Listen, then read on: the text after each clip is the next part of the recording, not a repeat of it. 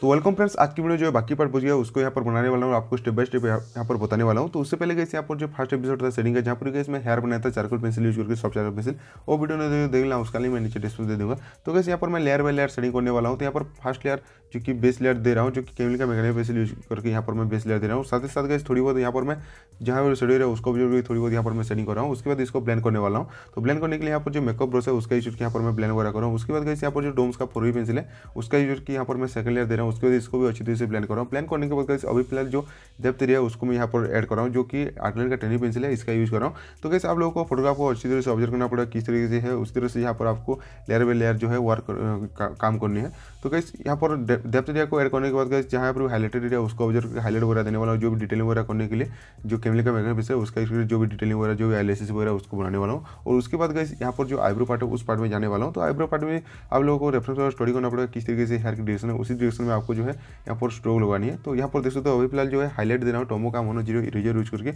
और जो साकुरा का हेड जी रोल पेन है, उसका भी आगे यहाँ पर यूज़ करने वाला हूँ थोड़ी बहुत हाईलाइटेड पार्ट के लिए। उसके बाद जो आईब्रो पार्ट है, उस पार्ट में जाने वाला हूँ। तो आप लोगों को ऑब्ज़र्व करना पड़ेगा आईब्रो पार्ट में कि किस तरह से हेयर की है उसी तरह से यहाँ पर आप लोगों को स्ट्रोक लगानी है तो यहाँ पर जो कैमरे का मैकेनिक पेंसिल है उसका यूज़ करके यहाँ पर मैं एक एक हेयर की ड्रेसन देखते हुए यहाँ पर एक एक हेयर को ड्रॉ कर रहा हूँ उसके बाद इस फ़र्स्ट लेयर को ब्लैंड कर रहा हूँ ब्लैंड करने के लिए जो ब्रश है मेकअप उसका यूज़ किया उसके बाद यहाँ पर जो टेन जो आउटलाइन का जो डार्क पेंसिल जैसे कि आईडी या टेन पेंसिल उसका यूज़ करके यहाँ पर जो है सेकंड लेयर दे देनी है उसके बाद जो भी छोटी बहुत डिटेलिंग वगैरह है उसको कर देनी है उसके बाद यहाँ पर जो सेकंड है और जो सेकंड आईब्रो है इसको बनाने वाला हूँ लेकिन यहाँ पर जो सेकंड आईब्रो उच्च तरीके से विजिबल नहीं हो रहा है थोड़ी सी ब्लर इफ़ेक्ट है तो यहाँ पर भी उसी टेक्निक से यहाँ पर भी बनाने वाला हूँ। तो लेकिन आईब्रो पार्ट में ऐसे नहीं जो बाकी पार्ट है, उसको सेम तरीके से जिस तरह से फ़र्स्ट आई बना था, उसी तरह से यहाँ पर सेकंड आई को यहाँ पर बना रहा हूँ। तो देखिए किस तरह से यहाँ पर मैं सेकंड आई बनाता हूँ, उसके बाद जो है नोच पार्ट और जो बाकी एरिया है, उस एरिया को बनाने वाला हूँ और आपको स्टेप बाय स्टेप बताने वाला हूँ। तो देखिए पहले आई पार्ट को किस तरह से बनाता हूँ।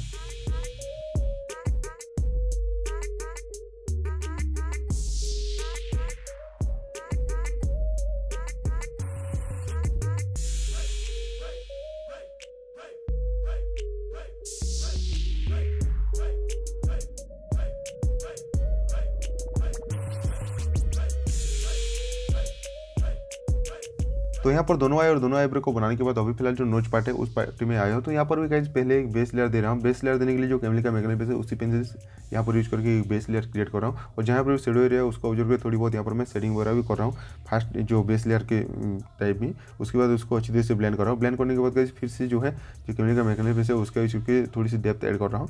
तो रेफरेंस पर स्टडी करना है, किस तरीके से जहाँ पर शेडो एरिया उसको ऑब्ज़र्व करके आप लोगों को यहाँ पर, जो है सेटिंग करना है। और जो नोस्टिल एरिया वहाँ पर आगे जो है टेनी पेंसिल या सिक्स पेंसिल या एडी पेंसिल उसका यूज़ करने वाला हूँ। मतलब आप कोई भी पेंसिल यूज़ कर सकते हो। यहाँ पर मैं जो भी डार्क पेंसिल है, उसका यहाँ पर यूज़ किया। जैसे कि टेनी पेंसिल उसका यूज़ किया। उसके बाद गई यहाँ पर दोस्तों जो थोड़ी बहुत जो ब्लैंड करने के लिए जो ब्लैंडिंग स्टोम है, उसका भी यूज़ करके यहाँ पर मैं ब्लैंड वगैरह कर रहा हूँ स्मूथ ब्लैंडिंग के लिए। उसके बाद गए यहाँ पर जो भी हाईलाइटेड पार्ट है, उसको ऑब्ज़र्व करके यहाँ पर मैं हाईलाइट वगैरह दे रहा हूँ। तो हाईलाइट देना बहुत ही इंपॉर्टेंट है। हाईलाइट दोगे तब जाके गए जो फोटोग्राफ है, वो लगेगा तो रियलिस्टिक लगेगा। उसके बाद यहाँ पर जो लिप पार्ट है, उस पार्ट में आऊँ तो यहाँ पर भी प्रोसेस से मैं यहाँ पर एक बेस लेयर दे दिया, जो कि कैमरे का पेंसिल यूज़ करके उसी, उसके बाद उसी तरह से यहाँ पर उसी ब्लैंड कर दिया ब्लैंड करने के बाद उसी के थ्रू एक सेकंड लेयर दे रहा हूँ अभी फ़िलहाल।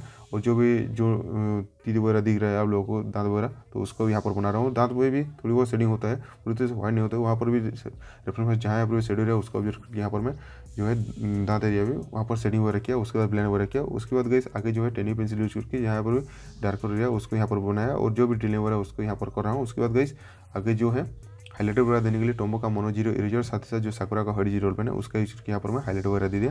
तो यहाँ पर जो लिप पार्ट देख सकते हो, किस तरीके से रियलिस्टिक लग रहा है। अभी फ़िलहाल जो ईयर पार्ट है, उस पार्ट में आया तो यहाँ पर प्रोसेस है। मैं यहाँ पर पहले एक बेस लेयर दे रहा हूँ, उसके बाद ब्लैंड वगैरह करके जहाँ पर शेड रहा है, उसको ऑब्ज़र्व यहाँ पर मैं सेकंड लेयर दे रहा हूँ, जो टोम्स की जो और पूरी पेंसिल है उसका यूज़ करके उसके बाद जो आटलिन का टेन वी एड पेंसिल यूज़ करके जो भी डेप्थ एरिया उसको किया उसके बाद जो फोरेट पार्ट और जो जो जो फोरेट पार्ट और जो बाकी पार्ट बच गया उसको यहाँ पर मैं बना रहा हूँ। तो यहाँ पर भी पहले एक बेस लेयर दे दिया कैमरे का यूज़ करके उस कैमरा मैग्नेट पेंसिल यूज़ करके उसके बाद ब्लैंड वगैरह करके उस, उसके साथ उसके ऊपर फिर से एक लेयर दे उसी पेंसिल के थ्रू उसके बाद आगे ब्लैंड वगैरह करके फिर से जो है जो डोम्स का फोर पेंसिल है उसका यूज़ करके यहाँ पर ज़्यादा शेडो एरिया है मतलब डेप्थ एरिया है उस एरिया को आगे जो है सेटिंग करने वाला हूँ। उसके बाद ब्लैंड वगैरह करके जहाँ पर हाईलाइटेड है, उसको ऑब्ज़र्व करके हाईलाइट वगैरह देने वाला हूँ। तो यहाँ पर ब्लैंड करने के लिए जो बड़े बड़े साइज़ के जो ब्रश है, उसका ज़्यादातर यूज़ कर रहा हूँ कि अच्छी तरह से, उसे, अच्छी तरह से ब्लैंड हो जाता है तो मिक्स हो जाता है जो पाउडर है। उसके बाद जो है फेस पार्ट को बनाने के बाद जो जो नेक पार्ट है, उस पार्ट में जाना होगा वहाँ पर भी प्रोसेस सेम है गाइज़ तो देखिए किस तरह से यहाँ पर मैं बनाता हूँ इस ड्राइंग को। और गैस लास्ट में बताऊँगा किस तरह से आपको व्हाइट टी शर्ट पार्ट बनानी है। तो देखिए।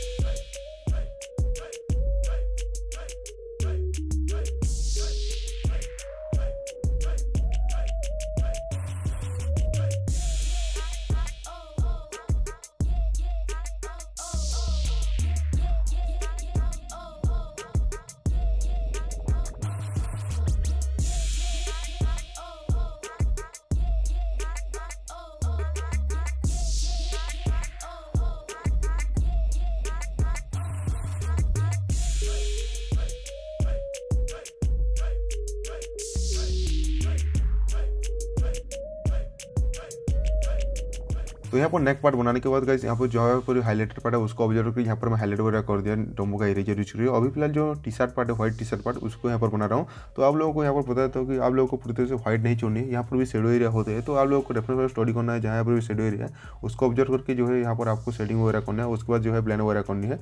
तो कई जो रेफरेंस वाला लिंक है, नीचे डिस्क्रिप्शन दे दिया हूँ। आप चाहें तो डाउनलोड करके मेरे साथ ड्रॉ कर सकते हो और मेरे को ड्रॉ करके भेज सकते हो, जो कि इंस्टाग्राम का लिंक है, नीचे डिस्क्रिप्शन दे दिया हूँ। तो आप ड्रॉ करके मेरे को भेज सकते हो कि आपका ड्रॉइंग किस तरह से हुआ है, मैं ज़रूर रिप्लाई दूँगा, जो भी मिस्टेक वगैरह हुआ है, आप लोगों को बताऊँगा।